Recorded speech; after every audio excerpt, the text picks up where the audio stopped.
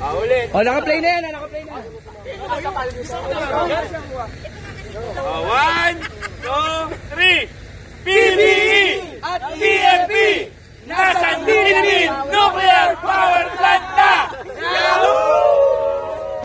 Ayan po mga kababayan, ano, ah, isang mapagpalang araw sa ating lahat, Luzon, Visayas at Mindanao, saan man tayo sa sulok ng mundo. Ito po yung ating drone shot ah, camera ng ating ah, nuclear power plant dito sa Morong Bataan na kung saan makikita natin siya po ay nasa tabing dagat at ah, ito naman ay nasa mataas na lugar dito sa area ng Morong Bataan na kung saan ang kanyang pinagtayuan ay kahit ah, dumaan man yung malaking tidal wave ay hindi po aabotin siya. So sa sea level niya ay napakataas na po ito kaya walang problema kung ito po ay dumating yung pinapangambahan natin yung malaking tinatabi- sinasabi nila na big one. So walang problema po ito at ito po ay ah, ligtas pa ah, gamitin at ah, magkakaroon lang ng ah, konting ah, ah, siguro mga aayusin dyan pero sabi nga na mayroon pong itong kailangan ah, budget na malaki dahil ito po ay kailangan may mga babaguhin na mga mechanical or ah, electrical dyan sa loob. Pero ganun pa man, ang generator nito ay ah, nasa ibang bansa at kung sakali ay gagamitin ito, ibabalik ito ng buo dito at ang kanilang pinakalangis, yung ah deuterium ay ah, yun ang wala lang dyan. Pero lahat po ay nandyan sa loob at ah, ah, kondisyon pa ng 101%. Yun po ang ating uh, iikutin mamaya sa maya. So samahan nyo kami. Ayan na po uh, iikot po nuclear tayo. power plant. Makikita na natin kung anong nasa loob. Ito, yan. nuclear power plant. Ito yung kanilang ah, mga Saan nuclear power Yan. uh, ito yung kanyang ah, pinaka power.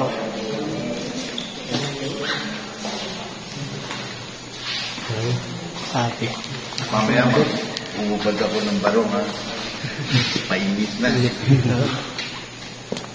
so, uh, kahit anong thermal plant ang pinasok nyo, whether it's coal, gas, geothermal, uh, bio, biothermal, ang unang-unang kailangan mong gawin is tanggalin mo yung mineral sa tubig. Alam nyo ba pag nagpapakulo kayo ng tubig sa takuri, di ba after a while, may minerals doon sa ilalim ng takuri na parang bato, tumibigas. Pag yun nag-coat doon sa mga tubo ng planta, ng boiler, babara na yung planta. So, kailangan mong tanggalin yon bago mo gamitin yung tubig. So, ang first step ng lahat ng planta is water treatment. Ito yun. Ito, water yan ang control. Ito yung water treatment. No? De-ionizer to. Tinatanggal yung calcium, yung silica, lahat ng pwedeng Bagong kompleto na pala ito ng mga wiring dito. Yung kanilang cable ladder. steam generator. Kompleto na pala. So, pure water sa fuel control. Pure water na yun. Ah, maiikot water yun. control. Hindi nakukonsumo yon. So, ang thinking ng iba, nakukonsumo yon, hindi pa ikot-ikot lang yon. So lahat ng electrical dito ah naka-install na lahat no. Yung cable ladder nila punong-puno na ng mga wire no. Yan. Ito yung ah, motor control panel. Ito yung mga ba, yan. Eh, ito naman yung mga generator makina. Happy.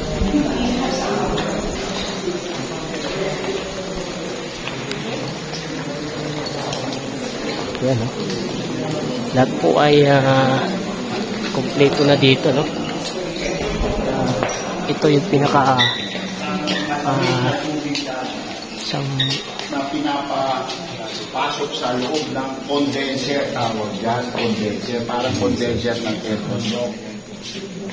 Ang tubo ng condenser, titanium. Kasi ang titanium, hindi kayang ah, mabulok sa tubig dagat. So very inert siya, no? Tsaka maganda ang kanyang ah, heat transfer coefficient. Ah, very efficient siya magpalamig. So, tignan nyo gano'ng karami. Apat na malalaking tubong ganito kalaki ang nagbibigay ng condensing water, malamig na tubig dagat, para i-condense yung steam, yung turbina kasi nandun na sa taas natin. So pagka kinondense mo yung low pressure steam na yan, dumaan na yan sa turbina, magiging liquid yan, magkakaroon ng vacuum, hihigupin niya yung nasa ibabaw.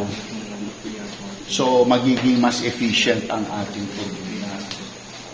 So ito po ang ating reactor, no?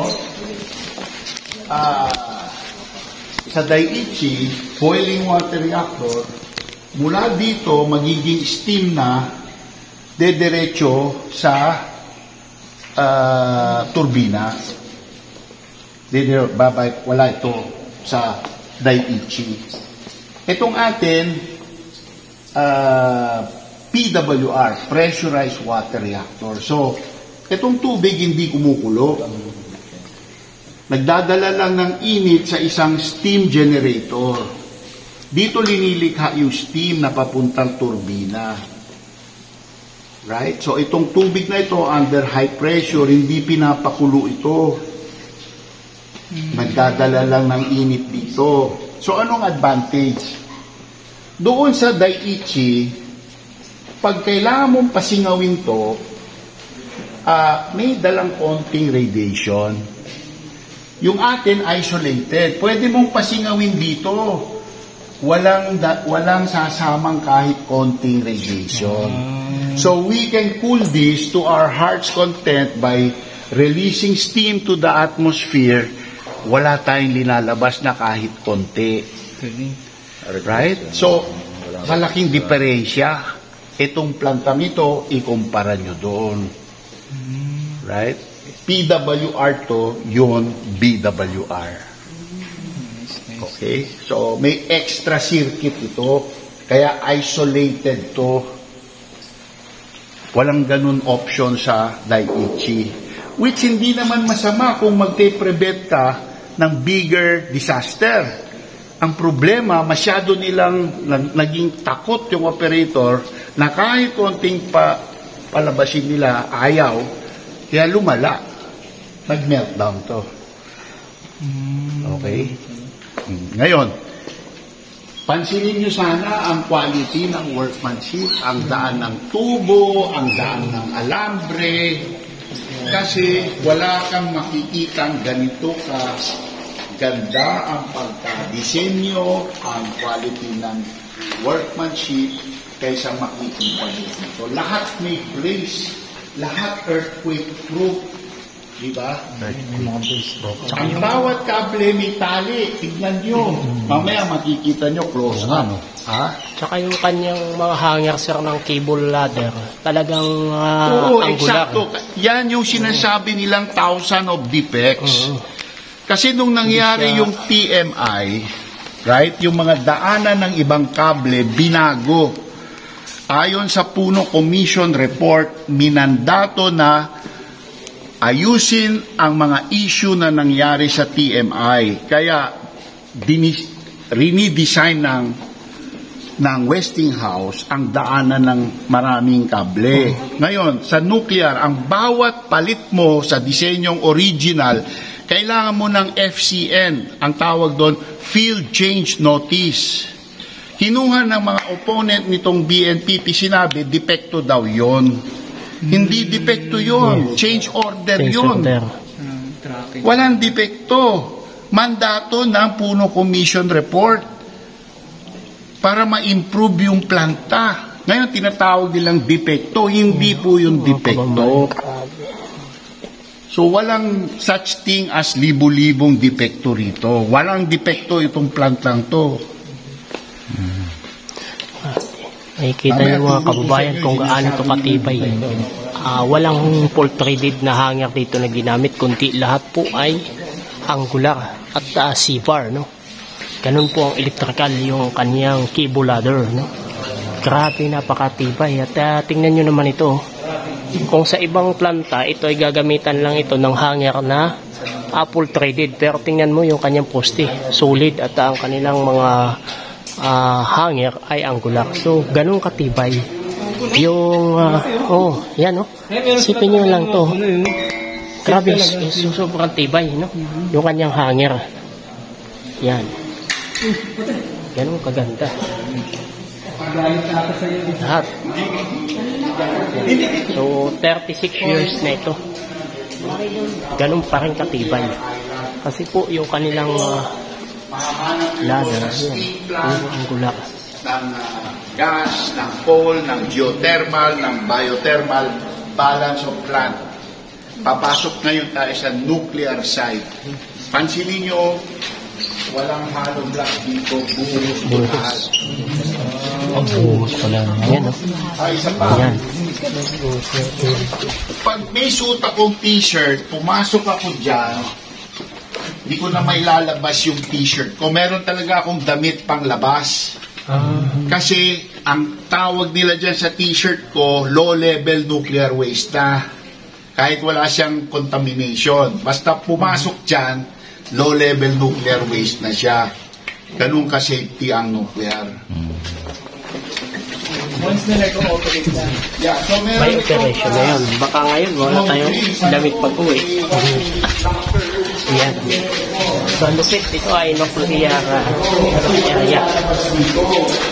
So, napakabalat po natin. Nakapalit tayo. Magulit ang tao nangangarap na makapunta dito. Kaya, isa lang tayo na nagkataon na napunta.